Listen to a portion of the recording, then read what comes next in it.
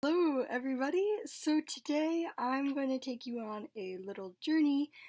I'm actually going to be drafting two new projects. Wow, um, I can't believe that, actually. I've been so focused on my manuscript that I've got going that I'm going to submit to Pitch Wars that I haven't really thought about anything else. I've had ideas here and there and I've worked on plays, but not really any new novels, so we'll see. I think I might try a variety of different drafting methods today in this video. Might do the Save the Cat beat sheet, might do uh, Susan Dennard's methods. Both? Both? We'll see. I'm just hopping in on Brooke Wright's live stream and going to work on my projects. So let's go. I have to actually open up the documents. This is the wrong one. Whoops. No, not not a new document either. Oh man, I'm I'm I'm a mess today. Let's okay. All right, let's see this. so, as you can see, I already have a bit of drafting done. I have some names. I have the beginning of a chapter to We'll see. Um, it's at 580 words now, but not really a lot of definitions, so let's make it something. Also be helpful here would be to plug in my laptop. Um, I don't know if I can do this one-handed. Alright. Ta-da! Save the Cat writes a novel. The last book or PDF on novel writing you'll ever need. Okay, introduction to the 15 beats. So let's do Act 1. Opening image. Cool. Actually, I might just copy and paste this. Let's do that. So for this, I'm just gonna do a time lapse, so let's write.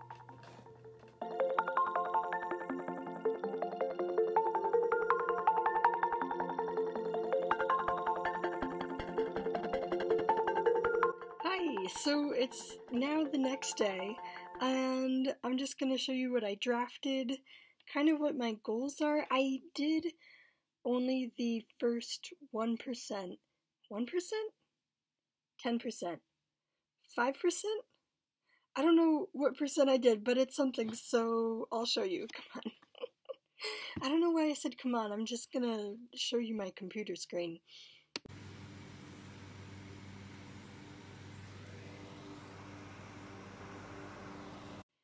So, yesterday after the live stream, I pretty much plotted out Act 1 of my first idea. So, that's up until the debate, so 10% to 20%, a reaction sequence in which the hero debates what they will do next.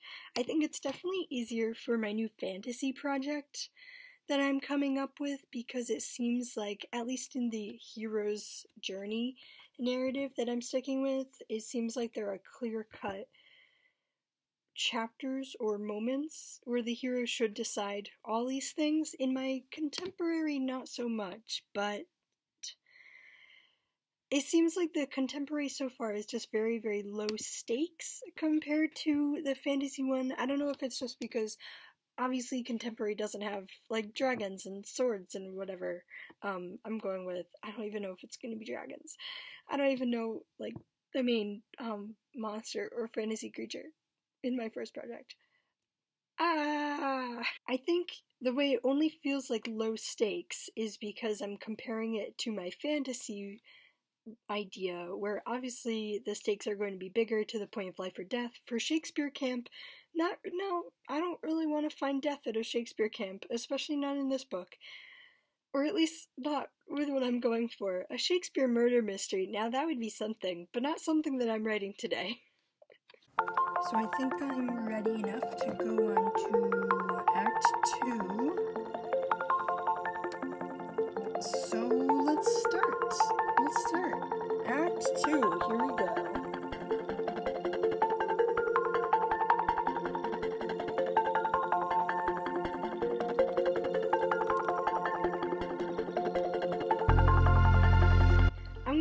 Take you outside where we're gonna finish plotting this. I say we as if we're writing this together. Nope, only me. I'm gonna take you outside, we're gonna finish plotting this, and we'll see where I end up.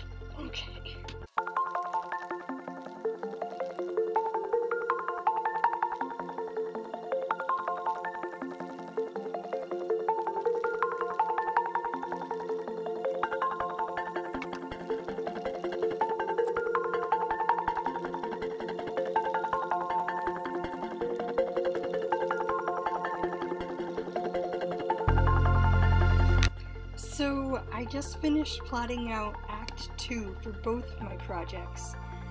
I feel like a broken record, but it is definitely harder for my contemporary, but I think the way I'm drawing on my own experiences and my own memories, I guess, um, it's definitely getting easier with like planning out actions as opposed to what my main character is thinking.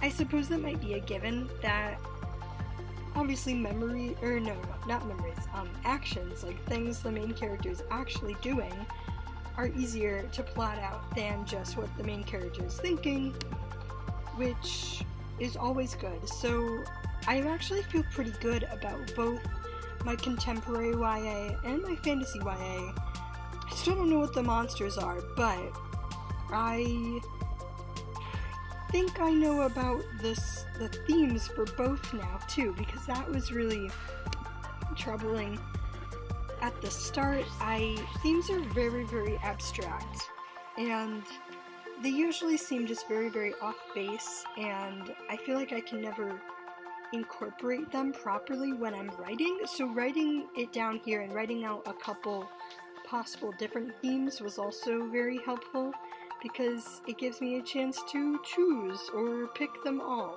Maybe, maybe that would be too much, but now I'm going to plot out, I guess, Act 3 for both of these, so let's, let's do that, let's do that, yay! So before I go on, I just want to show out my original outline for my current project where I've separated it into chapter number, main plot, um, different things in the story, and basically I don't know if I'm going to be doing that with this, uh, with these two stories yet. I only really did it when I did Camp NaNoWriMo, so I don't know. We'll see. We'll see. See, I divided it up into places and story importance, and same thing with chapters and emotional states. so also in this video I've decided that I'm going to use another method which is Susan Dennard's magical cookies. Susan Dennard's? I don't I really don't know. I really don't know. Ah! So I'm going to be using the magical cookies. I'm going to plot out the magical cookies that I want for each book. Maybe I'll get into some scene plotting, some chapter plotting, some character plotting. We're gonna we're gonna cover just a lot of the bases here. So many bases. Okay, so I actually skipped ahead and I because I wanted to concentrate mostly on magic cookies. So I'm here on how I plan a book part 4, coaxing out the magical cookies. And I'm going to write down why I want to write this story.